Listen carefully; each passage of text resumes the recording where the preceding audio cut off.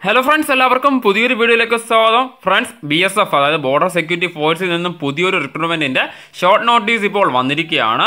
Group B പോസ്റ്റുകളിലേക്കാണ് ഇപ്പോൾ recruitment notification വന്നിട്ടുള്ളത്. അതായത് A S I S I തസ്തികകളിലേക്കാണ് ഇപ്പോൾ റിക്രൂട്ട്മെന്റിന്റെ ഒഫീഷ്യൽ ഷോർട്ട് നോട്ടീസ് വന്നിട്ടുള്ളത്. അപ്പോൾ നമ്മൾ ഇന്നത്തെ ഈ ഒരു വീഡിയോയിലൂടെ നോക്കാൻ പോകുന്നത് ഈ ഒരു ഷോർട്ട് നോട്ടീസിന്റെ ഡീറ്റെയിൽസ് ആണ്.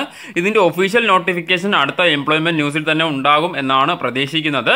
അതിനു മുമ്പായിട്ട് നമ്മളെ നമുക്ക് കുറച്ച് ഡീറ്റെയിൽസ് ഈ ഒരു ഷോർട്ട് നോട്ടീസിലൂടെ അറിയാൻ കഴിയുന്നതാണ്. അതുകൊണ്ട് തന്നെ താല്പര്യമുള്ള എല്ലാവരും ഈ ഒരു വീഡിയോ മുഴുവനായി തന്നെ കാണാൻ ശ്രമിക്കുക.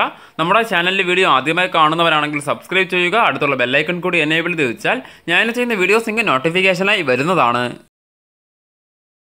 മിനിസ്ട്രി ഓഫ് ഹോം അഫേഴ്സിൽ വരുന്ന ബോർഡർ സെക്യൂരിറ്റി ഫോഴ്സ് അഥവാ ബി എസ് എഫിൽ നിന്നാണ് ഈ ഒരു റിക്രൂട്ട്മെന്റ് നോട്ടിഫിക്കേഷൻ വന്നിട്ടുള്ളത്.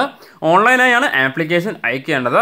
Inspector architect sub inspector works junior engineering sub inspector electrical തുടങ്ങിയ തസ്തികളിലേക്കാണ് ഒഴിവുകൾ രേഖപ്പെടുത്തിയിട്ടുള്ളത്. ഇതിൽ ഇൻസ്പെക്ടർ ആർക്കിടെക്റ്റിലേക്ക് ഒരു വേക്കൻസിയാണുള്ളത് അണ്ടർസേർഡ് കാറ്റഗറിക്കാണ് ഒരു വേക്കൻസി റിസർവ് ചെയ്തിട്ടുള്ളത്. രണ്ടാമത്തെ പോസ്റ്റ് സബ് ഇൻസ്പെക്ടർ വർക്ക്സ് ആണ്. ടോട്ടൽ അൻപത്തിയേഴ് വേക്കൻസിയാണുള്ളത്. ഇതിൽ ഇരുപത്തിനാല് വേക്കൻസി അണ്ടർസോഡ് കാറ്റഗറിക്കും അഞ്ച് വേക്കൻസി ഇ ഡബ്ല്യു എസിനും പതിനാറ് വേക്കൻസി ഒ ബി സിക്കും എസ് സിക്ക് എട്ട് വേക്കൻസി എസ് ടിക്ക് നാല് വേക്കൻസി എന്നിങ്ങനെയാണ് വേക്കൻസി റിസർവ് ചെയ്തിട്ടുള്ളത് ഈ ഒരു പോസ്റ്റിലേക്ക്. ടോട്ടൽ അൻപത്തിയേഴ് വേക്കൻസി. ജൂനിയർ എഞ്ചിനീയർ അല്ലെങ്കിൽ സബ് ഇൻസ്പെക്ടർ ഇലക്ട്രിക്കലിലേക്ക് ടോട്ടൽ മുപ്പത്തി രണ്ട് വേക്കൻസിയാണുള്ളത്. അണ്ടർസോഡ് കാറ്റഗറിയിലേക്ക് പതിനാറ് വേക്കൻസി ഇ ഡബ്ല്യു എസിലേക്ക് നാല് വേക്കൻസി ഒ ബി സിയിലേക്ക് നാല് വേക്കൻസി എസ് സിക്ക് അഞ്ച് വേക്കൻസി എസ് ടിക്ക് മൂന്ന് വേക്കൻസി. അങ്ങനെ ആകെ മൊത്തം മുപ്പത്തിരണ്ട് വേക്കൻസിയാണ് ഉള്ളത് ഇതിൽ ഇൻസ്പെക്ടർ ആർക്കിടെക്റ്റിന് നാൽപ്പത്തി നാലായിരത്തി തൊള്ളായിരം മുതൽ ഒരു ലക്ഷത്തി നാൽപ്പത്തി രണ്ടായിരത്തി നാനൂറ് രൂപ വരെയാണ് സാലറിയായി ലഭിക്കുന്നത്. Sub inspector works sub inspector electrical തുടങ്ങിയ തസ്തികൾക്ക് മുപ്പത്തി അയ്യായിരത്തി നാനൂറ് മുതൽ ഒരു ലക്ഷത്തി പന്ത്രണ്ടായിരത്തി നാനൂറ് രൂപ വരെയാണ് സാലറിയായി ലഭിക്കാവുന്നത്. അപ്പോൾ ഈ ഒരു റിക്രൂട്ട്മെന്റിന്റെ എഡ്യൂക്കേഷണൽ ക്വാളിഫിക്കേഷൻസ് നോക്കുമ്പോൾ ഇൻസ്പെക്ടർ ആർക്കിടെക്റ്റിന് ആർക്കിടെക്ചറിൽ അതായത് ആർക്കിടെക്ചറിൽ ഡിഗ്രി ഉണ്ടായിരിക്കേണ്ടതാണ്.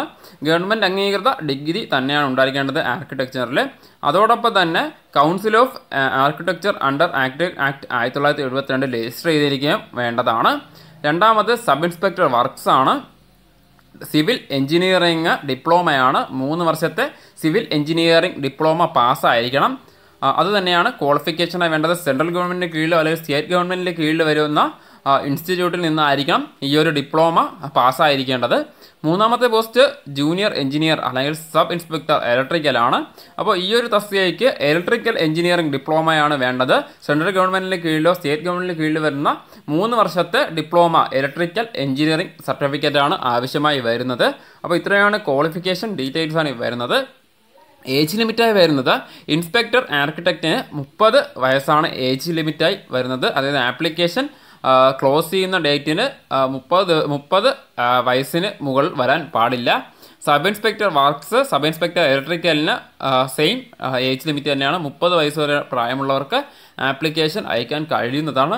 അപ്പോൾ ആപ്ലിക്കേഷൻ സ്റ്റാർട്ട് ചെയ്യുമെന്ന് പ്രൊഡിക്റ്റ് ചെയ്യുന്ന ഡേറ്റ് പതിനാറോ പതിനേഴോ തീയതിയിലാണ്. അതായത് ഏപ്രിൽ പതിനാറോ പതിനേഴാം തീയതിയോ ആപ്ലിക്കേഷൻ സ്റ്റാർട്ട് ചെയ്യാവുന്നതാണ്. ആപ്ലിക്കേഷൻ ഓൺലൈനായിരിക്കും അപേക്ഷിക്കേണ്ടത്. ആപ്ലിക്കേഷൻ സ്റ്റാർട്ട് ചെയ്ത് നാൽപ്പത്തി അഞ്ച് ദിവസമായിരിക്കും നമുക്ക് ആപ്ലിക്കേഷൻ അയക്കാനുള്ള ടൈം ലഭിക്കുക. അപ്പോൾ ആപ്ലിക്കേഷൻ ഓൺലൈനായി തന്നെ നമുക്ക് അപേക്ഷിക്കാൻ കഴിയുന്നതാണ് ഓഫ്ലൈനായി ഒന്നും ആപ്ലിക്കേഷൻ അയക്കേണ്ട ആവശ്യമില്ല. ഓൺലൈനായി നമ്മുടെ ബി എസ് എഫിന്റെ recruiting സൈറ്റായ recruit dot B S F dot government dot in എന്ന വെബ്സൈറ്റിലൂടെ ആപ്ലിക്കേഷൻ അയക്കാൻ കഴിയുന്നതാണ്. അപ്പോൾ മറ്റ് ഡീറ്റെയിൽസ് എംപ്ലോയ്മെന്റ് ന്യൂസ് വന്നാൽ മാത്രമേ എംപ്ലോയ്മെന്റ് ന്യൂസിൽ ഈ ഒരു നോട്ടിഫിക്കേഷനെ സംബന്ധിച്ച് കൂടുതൽ ഡീറ്റെയിൽസ് വന്നാൽ മാത്രമേ നമുക്ക് പറയാൻ കഴിയുള്ളൂ.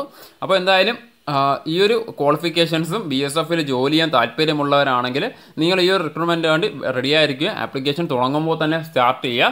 വേക്കൻസീസ് ഇൻക്രീസ് ചെയ്യാനുള്ള സാധ്യതയും വളരെ കൂടുതലാണ്. അതുകൊണ്ട് തന്നെ ആരും വേക്കൻസീസ് കുറവാണെന്ന് കരുതി ഈ ഒരു റിക്രൂട്ട്മെന്റിന് വേണ്ട എന്ന് വെക്കരുത്. അപ്പോൾ എലിജിബിൾ ആയിട്ടുള്ള എല്ലാ കാൻഡിഡേറ്റ്സും ഈ ഒരു അവസരം മാക്സിമം ഉപയോഗപ്പെടുത്തുക. നമ്മുടെ ചാനലിലെ വീഡിയോ ആദ്യമായി കാണുന്നവരാണെങ്കിൽ സബ്സ്ക്രൈബ് ചെയ്യുക. അടുത്തുള്ള ബെല്ലൈക്കൺ കൂടി എനേബിൾ ചെയ്ത് വെച്ചാൽ ഞാൻ ചെയ്യുന്ന വീഡിയോസ് നിങ്ങൾക്ക് നോട്ടിഫിക്കേഷനായി വരുന്നതാണ്.